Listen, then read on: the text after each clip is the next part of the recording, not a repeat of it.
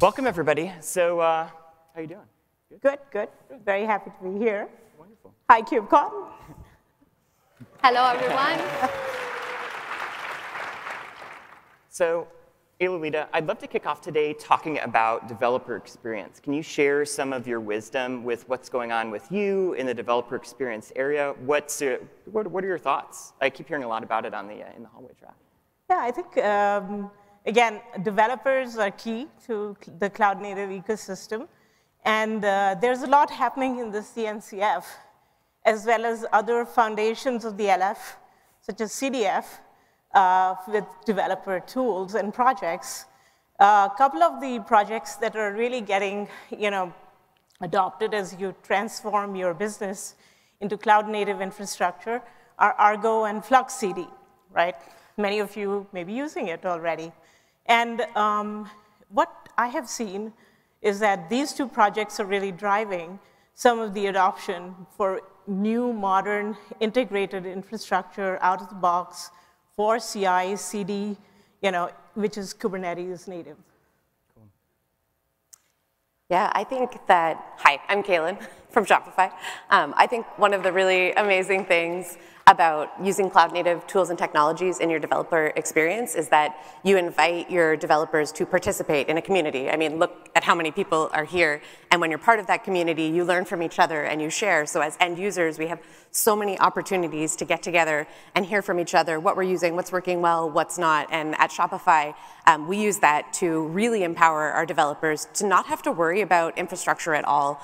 Um, the cloud native universe has allowed us to build a whole bunch of really great tools that support our cloud platform, um, which is, is just the best. So I think most developers at Shopify would say, like, infrastructure just works, which is, like, wild. it's, a, it's a great um, answer. We, uh, at, at BlackRock, we're looking to drive developer experience through velocity, right? So developers are happy when they're shipping their code quickly. We're getting the business value out to the business quickly. We've already adopted things like Argo for uh, our GitOps control plane and driving the cloud native adoption. Really now it's about how do we get to that point where Shopify is, where access to infrastructure that's external to the cloud native infrastructure is easily available, readily available, and is imperative to our success because these developers need this access quickly and efficiently so that we can maintain those velocity numbers and ultimately get the uh, business value out to the people that need it the most the business and our, our customers that we're supporting. Hi, everyone. I'm Mukulika from Intuit and founding member of Argo. So at Intuit, actually using cloud native technologies, our development velocity increased 9x in five years, which is amazing. Uh, we actually have a common platform which all developers in the company use to build not only microservices, but also platforms on top, whether it's ML platform, AI platform, stream processing platform, and all of it. Uh, the whole company runs using the same standard uh, with security and compliance built in. So it's amazing. Well, speaking of security and compliance, you're actually, uh, that's a great segue into our next sec section, uh, security. Oh my goodness, don't say that five times fast. What are you doing in the cloud native security space? I would love to hear more. I always lock my door at night. Am I doing the right thing? yeah, sure. so, um, you know, as Cailyn said earlier, each team was managing their own infrastructure. So developers had to patch their AMIs with security patches. And they used to hate it. Now, the entire, so we have around 350 Kubernetes clusters running thousands of microservices. And actually, monthly, we upgrade these 350 clusters automatically with security patches.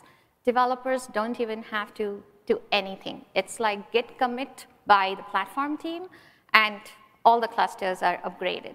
Similarly, all our containers come from base images, which are uh, actually created by security teams. And then we have runtime security tools running in all clusters, build time security tools. Security teams love cloud native. So we, uh, we're, we're, doing something very similar. We're not quite at 355 or whatever you said yet, but we're, uh, we're in the hundreds and thousands of apps, so hundreds of clusters, thousands of apps. We run it as a platform. We want the platform to provide the batteries included for our developers so that no strings attached, low touch, We've got a highly competent uh, platform team, ops team that deliver it. Um, but it takes adopting new practices, more policy as code, shifting more things left so people developing the platform, building on top of the platform can get early indicators that maybe they're doing something outside of compliance. And as a highly regulated company, security is absolute table stakes. And so we are very, very deliberately approaching it. Taylor. Wonderful. I mean, security is my jam. I'm a uh, infrastructure security engineer at Shopify, so secure everything, obviously. Developers don't need to build. No, I'm just kidding. Um, we try really hard. Like Shopify is a company of builders. Our CEO is a builder through and through, um, and it is top of our mind to make sure that our builders are empowered to create whatever they need to, whenever they need to, quickly. Um, we really want to foster that creativity so that we're doing what matters most to us, which is making commerce better for everyone. And the way that my team does that is through building really, really strong guardrails on a wide paid path. So I know, like we've been saying, shift left for ages and ages, but sometimes I am getting used to the fact that we maybe need to shift right to allow developers space and make sure that we are supporting that creativity. We use all of the baked in security features in the platform that we use to support Kubernetes, but we also have a whole bunch of um, services that we've built internally that we call buddies that support a bunch of things like RBAC and network policies.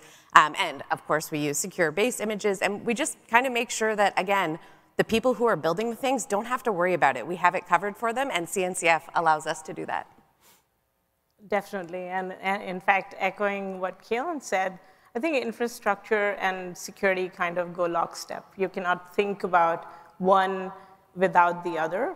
And um, security, in, in one sense, you know, has several good practices that can be used, um, which absolutely have to be considered and rolled out day one as you roll out your infrastructure.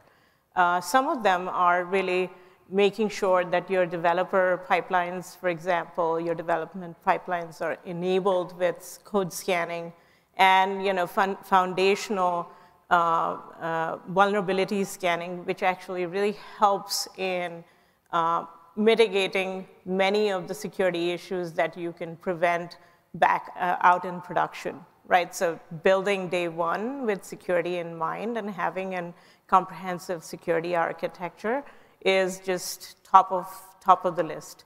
The other part that is super important is to be able to have secrets management as well as other key core areas built in into your entire infrastructure pipelines so that you, you can really you know, uh, deliver security at scale for your production systems. Amazing. Wonderful. Well, unfortunately, that's all the time that we have today for our end users, and we'll have to pick up this conversation in the hallway track because I have some questions and some things to check on. Uh, uh, wonderful. Thank you so much for stopping by today. Uh, yeah, catch us in the hallway track. Great to see all of you. And uh, thank you again so much to all of our end users. You are what awesome. make Cloud Native run. Thank you so awesome. much, everybody. Thank you. Catch you later.